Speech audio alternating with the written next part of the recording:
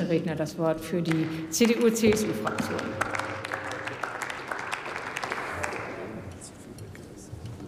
Frau Präsidentin, meine sehr geehrten Damen und Herren, äh, Kolleginnen und Kollegen!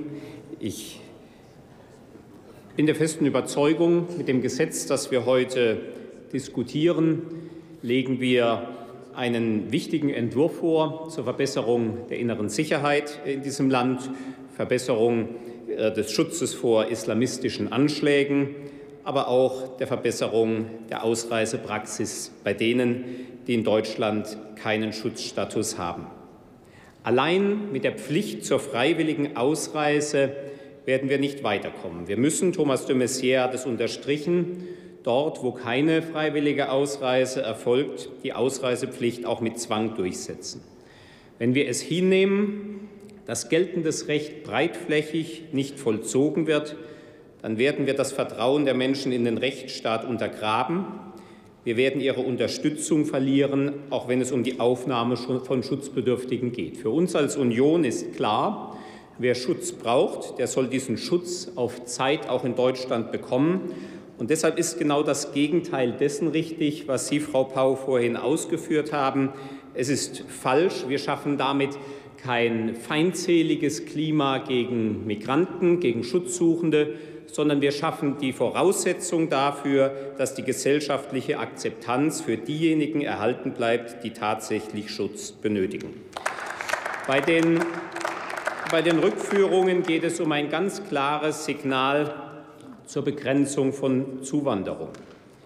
Nur in dem Maße, in dem ausreisepflichtige Ausländer unser Land verlassen, wird deutlich, wer nicht schutzbedürftig ist, wer gleichwohl in Deutschland einen Asylantrag stellt, hat keine Aussicht auf einen Aufenthalt und er sollte sich am besten erst gar nicht auf den Weg in unser Land machen. Unser prioritäres Ziel in der Union heißt Zuwanderung steuern, Zuwanderung begrenzen. Wer ein Bleiberecht hat, darf auf Zeit bleiben und wer kein Bleiberecht hat, muss zeitnah in seine Heimat zurückkehren.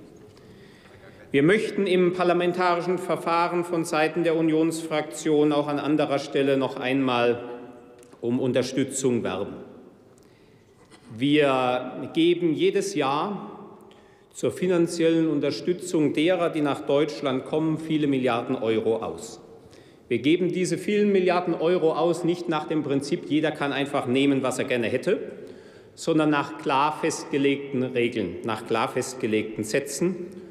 Und der allergrößte Teil der Asylbewerber hält sich daran. Wir sind in den vergangenen Wochen aber auch immer wieder mit Berichten über Asylbewerber konfrontiert worden, die sich Sozialleistungen erschleichen. Wenn etwa ein Sudanese mit sieben verschiedenen Identitäten in Deutschland unterwegs ist oder ein Mann aus Eritrea mit vier verschiedenen Identitäten, dann hat dafür niemand Verständnis. Diese Fälle haben aber eines gemeinsam, sie haben im Augenblick keine aufenthaltsrechtlichen Konsequenzen. Und deshalb möchten wir dafür werben, dass Sozialbetrug künftig auch klare ausländerrechtliche Konsequenzen hat. Dazu gehört erstens, Dazu gehört erstens, dass wir die strafrechtliche Hürde absenken wollen, bei der jemand aus dem Asylverfahren ausgeschlossen wird. Dazu gehört zweitens, dass wir uns auch noch einmal das Ausweisungsrecht ansehen. Bei bestimmten Delikten, wie etwa Angriffen gegen das Leben, gegen die körperliche Unversehrtheit oder gegen das Eigentum, kann der Weg zum Ausschluss aus dem Asylverfahren bereits ab einer Freiheitsstrafe von einem Jahr eröffnet sein. Der Sozialbetrug fällt bisher nicht unter diese Regelungen und das sollten wir korrigieren, um ein ganz klares Signal zu senden. Wer unseren Schutz benötigt, der kann in Deutschland Schutz bekommen. Der kann auch finanzielle Zuwendungen bekommen. Aber wer unserem Land auf der Nase herumtanzen will, dem werden wir mit Entschiedenheit entgegentreten. Dafür werden wir als Unionsfraktion auch im parlamentarischen Verfahren noch einmal werben.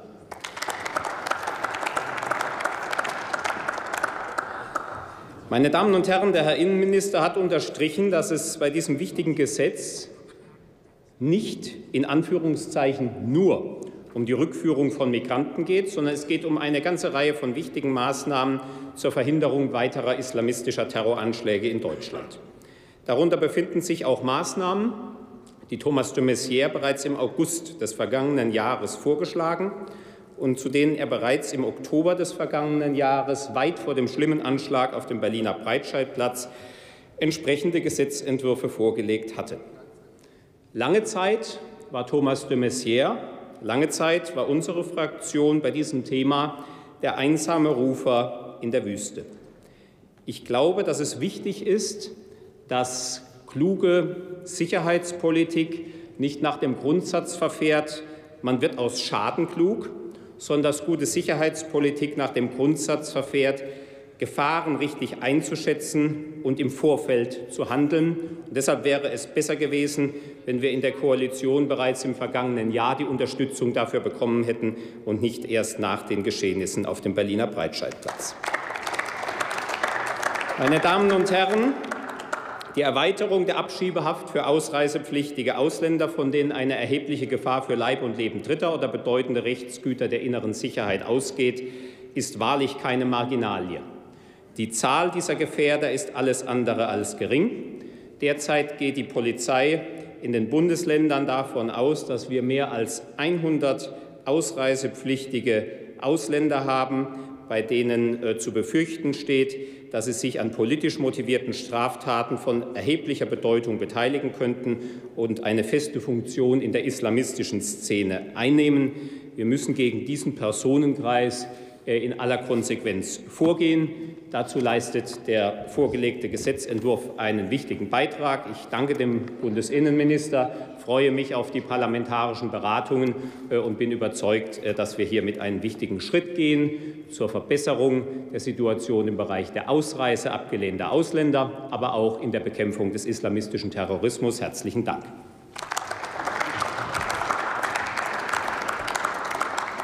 Dr. Sebastian Hartmann hat für die